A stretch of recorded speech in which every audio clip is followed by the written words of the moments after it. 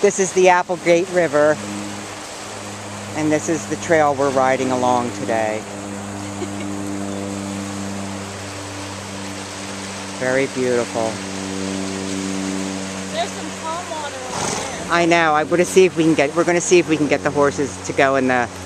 To see if there's an entryway for the horses to go in and get wet, since they love oh, the water.